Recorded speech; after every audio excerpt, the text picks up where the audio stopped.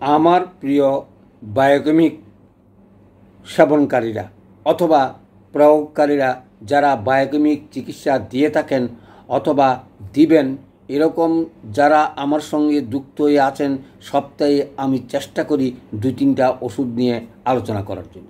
সেই আলোচনার পরিপ্রেক্ষিতে ইলিমেন্টারি ডিজিজের তিরিশতম ওষুধ আলোচনা করতে যাচ্ছি। তিরিশতম রোগ নিয়ে আলোচনা করতে যাচ্ছি। রোগটার নাম হচ্ছে ফাইলেরিয়া।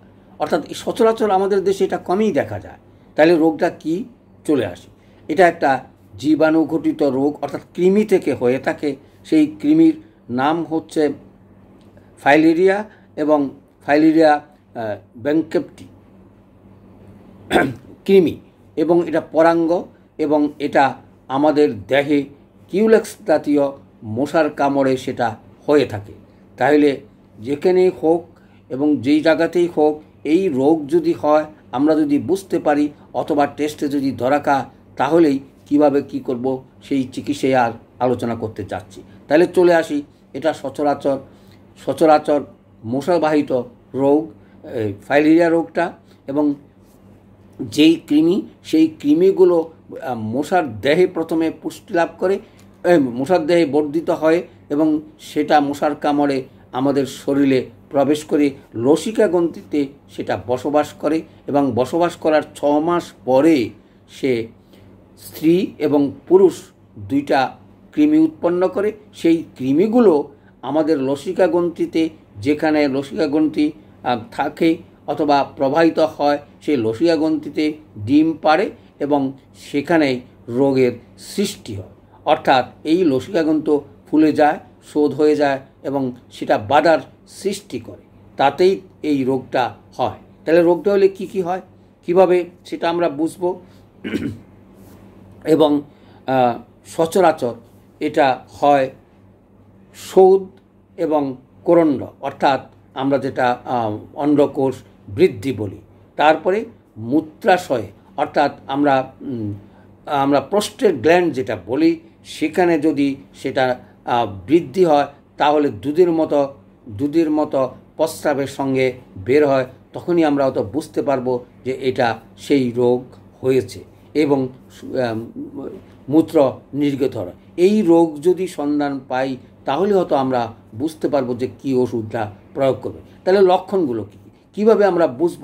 বুঝলাম তার শরীরে সেটা আছে, অথবা এই ধরনের লক্ষণ যদি পাই, অথবা অভাব যদি হয়, আমরা সেই অভাবটা পূর্ণ করার চেষ্টা করব। অভাবের কারণে শরীর প্রতিরোধ করবে এবং প্রতিরোধ করে সেই রোগটা দূরীভূত করবে বায়োকেমিকের মাধ্যমে। সেটাই আমাদের লক্ষ্য বা উদ্দেশ্য। তাইলে এই এই জটিল রোগ আমাদের দেশে নাই বললেই চলে। তারপরও যদি কেউ যদি কোনো দিন পাওয়া যায় অথবা আমরা যারা ডাক্তারি করি বা সেবা দিয়ে থাকি, তাদের কাছে যদি এরকম রোগ ধরা খায়, তাহলে অবশ্য অন্য কথা। কারণ এখানে এই রোগের নাই বললেই চলে চলে আসে। এটা অনেকটা অনেকটা ম্যালেরিয়ার মতন। প্রবল জ্বর কম্প দিয়ে হয় এবং রাত্রিবেলা বারোটা বাজে তার বৃদ্ধি হয় এবং সেটা একশো দুই থেকে একশো পাঁচ ডিগ্রি পর্যন্ত জ্বর উঠে থাকে। জ্বর কম্প দিয়ে আসে এবং কিছুদিন থাকি ভালো হয়ে যায়, আবার কিছুদিন পর পর হয়। অনেক সময় আমরা বলে থাকি অমনসা পূর্ণিমাতে বাড়ে যেই সকল রোগ, এটাও তার ভিতরে পড়ে। অর্থাৎ এই লসিকা গ্রন্থির ফুলা এবং এবং রসিকা গ্রন্থির শোধ, বাধা এই সকল এই সকল কারণেই এই লক্ষণগুলো আমরা আমরা লক্ষ্য করতে পারি।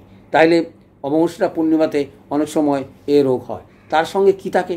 মাথা ধরা থাকে, বমির ভাব থাকে এবং এবং অন্ডকোষও অনেক সময় বৃদ্ধি হয় এবং সেই সঙ্গে অন্ডকোষ থেকে অনেক সময় রসও ঝরে। যাই হোক, চলে আসি তাহলে এই লক্ষণগুলো যদি থাকে, অর্থাৎ ফ্যালেরিয়া রোগ যদি আমরা টেস্ট করে নির্বাচন করতে পারি, অথবা লক্ষণ বেঁধে যদি নির্বাচন করতে পারি, আমাদের বায়োকেমিকের বাক্স থেকে একটা মাত্র ওষুধ, সেটা হলো ন্যাট্রামিউ সিক্স এক্স বা টুয়েলভ এক্স দিনে চারবার করে প্রয়োগ করুন। আশা করি সাতাশ দিনের ভিতরে চলে যাবে রোগটা, অথবা না গেলে আরও দীর্ঘদিন সেবন করুন, তাহলে এই রোগ থেকে মুক্তি পাবে। সঙ্গে অনেক সময় যেহেতু রক্তশূন্যতা বা রক্তের উপরে তার কাজ অথবা রক্তবাহিত এই নসিকা গ্রন্থির সঙ্গে অর্থাৎ এই সারা শরীরে ছড়িয়ে অঙ্গগুলো যেখানে রসিয়া গ্রন্থিগুলো থাকে সেখানে ফুলে বাধা সৃষ্টি করে এবং সেটা আমরা অনেক সময় ফেরাম্পস দিয়েও ভালো করতে পারি। অর্থাৎ ন্যাট্টামিনের সঙ্গে অনেক সময় ফেরাম্পস আসতে পারে। আরগুলো যেগুলো আর অন্যান্য ওষুধগুলো যদি তার দেহে অভাব থাকে সেগুলো সেভাবে প্রয়োগ করে চেষ্টা করবেন। তাহলে চলে আসি। আজকের এই ফ্যালেরিয়া রোগীর আলোচনা শেষ করতে যাচ্ছি।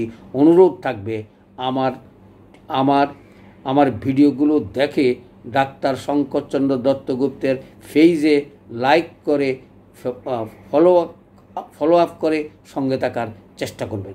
ধন্যবাদ।